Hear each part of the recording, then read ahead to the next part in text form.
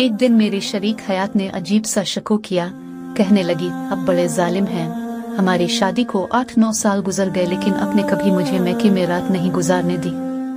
बंदा ने हैरान हो के जवाब दिया कि भले मान से हमने वहाँ रहने को कब मना किया है। जाएँ और जितना दिल चाहे वहाँ रही वो खुश हो के बोले, ठीक है, फिर मैं अगले दो दिन में के ही रहूँगी। लेकिन अब का नाश्ता और ऑफ़िस की तैयारी, दोपहर और रात का खाना कौन बना के देगा? बंदा ने जवाब दिया आपको पता है कि मैं हर तरह का खाना पकाने में माहिर हूँ। कपड़े खुद धो भी लेता हूँ और प्रेस भी कर लेता हूँ। अगर कुछ ज़्यादा मसला हुआ तो भाइयों के घर साथ साथ हैं, वहाँ से मैनेज हो जाएगा। आप रिलैक्स रही और सुकून से मैके जाएँ। कुछ मुतफक्र नज़र आते हुए बोले चली ठीक है। कुछ ज़रूरी हिदायत के बाद वो मैके चली गई। याद रहे मेरे ससुराल के घर का फासला आधे किलोमीटर से भी कम है। रात गुजर गई। सुबह की नमाज़ पढ़ने के बाद वॉक करना मेरे मामूल में शामिल है। वॉक करने के बाद बंदा नाश्ता बनाने का सोच ही रहा था कि दरवाज़ा पे दस्तक हुई, दरवाज़ा खोला तो बेगम साहिबा थी। हैरानी का झटका लगा, इतनी सुबह सवेरे वापसी कर ली।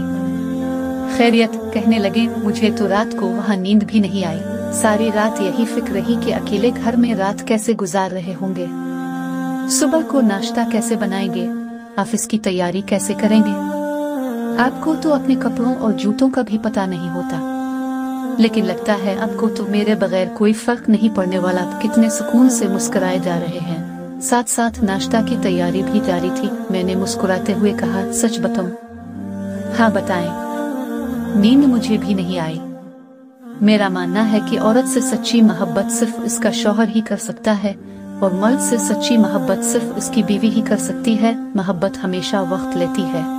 अंडरस्टैंडिंग मांगती है, जिसके लिए एक दूसरे का साथ लाजमी है। निकाह और शादी इसका बेस्ट वे है। बाकी तमाम रास्ते गुमराही, बेराहरवी और रसवाई का बाइस हैं। लिहाजा मर्द और औरत की मोहब्बत की पहली दसगाह शादी ही है।